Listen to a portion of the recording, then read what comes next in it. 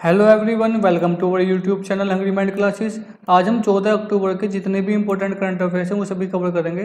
तो चलिए अपनी वीडियो को स्टार्ट करते हैं और आज का पहला क्वेश्चन करते हैं। पहला क्वेश्चन क्या है कि एडीबी और भारत ने राजस्थान परियोजनाओं के लिए 190 मिलियन डॉलर के ऋण पर हस्ताक्षर करें। यानी कि एशियन डेवलपमेंट बैंक और भारत ने राजस्थान परियोजनाओं के लिए कितने मिलियन डॉलर ऋण पर हस्ताक्षर करें? एक सौ नब्बे मिलियन के डॉलर पर।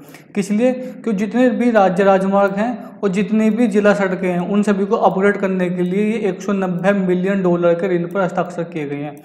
अच्छा आप सभी को पता होना चाहिए कि जो एडीबी है, एशियन डेवलपमेंट बैंक है, इसका हेडक्वार्टर कहाँ पर है? मनीला, फिलीपींस की राजधानी मनीला में। और इसके अध्यक्ष कौन है? इसके अध्यक्ष हैं ताके ही को नकाओ, ताके ही को, ताके ही को नकाओ। ये कहाँ के हैं? जापान के ताके ही को नकाओ, जापान के हैं। तो चलिए अपने नेक्स्ट क्वेश्चन की तरफ़ बढ़ते हैं। नेक्स्ट क्वेश्चन क्या हमारा?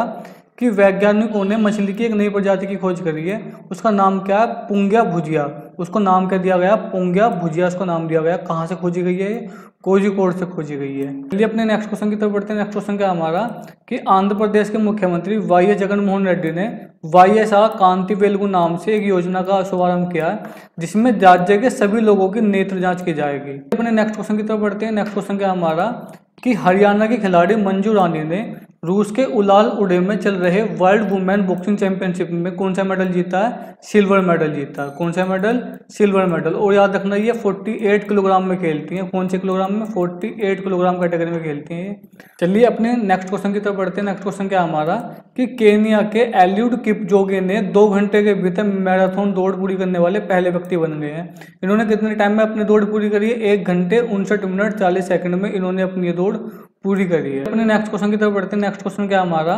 कि उत्तरी जापान में एक टाइफून आया, उसका नाम क्या है? उसका नाम है हागीबीस। अच्छा आप सभी को पता होना चाहिए कि फिलीपीन भाषा में हागीबीस का अर्थ होता है गति, यानी कि स्पीड अच्छा एक चीज़ और कि आप सभी को पता भी होगा कि जापान के जो प्रेसिडेंट कौन है? जापान के प्रेसिडेंट है सिंजो आबे। कौन है सिंजो आबे? जापान की करेंसी क्या है? जापान की करेंसी है येन येन जापान की करेंसी है। चलिए, अपने नेक्स्ट क्वेश्चन की तरफ़ बढ़ते हैं। नेक्स्ट क्वेश्चन क्या हमारा? कि हर साल अंतर्राष्ट्रीय आपदा न्यूनकरण दिवस, यानी कि international day for disaster risk reduction हर साल का मनाया जाता है, तेरह अक्टूबर को मनाया जाता है।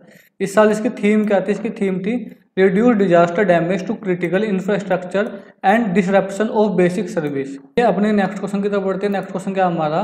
कि भारत के बैडमिंटन खिलाड़ी लक्ष्य सेन ने डच ओपन मैन सिंगल के फाइनल में जापान के यूसुफ के ओनोडरा को हराकर डब्ल्यू वर्ल्ड टूर में अपना पहला खिताब जीत लिया। ये थे हमारे 14 अक्टूबर के मोस्ट इंपॉर्टेंट करंट अफेयर्स उम्मीद करता हूँ आपको ये वीडियो पसंद आई होगी। अगर आपको ये वीडियो पसंद आई है तो चैनल को सब्सक्राइब वीडियो को लाइक और शेयर कर दें। Thank you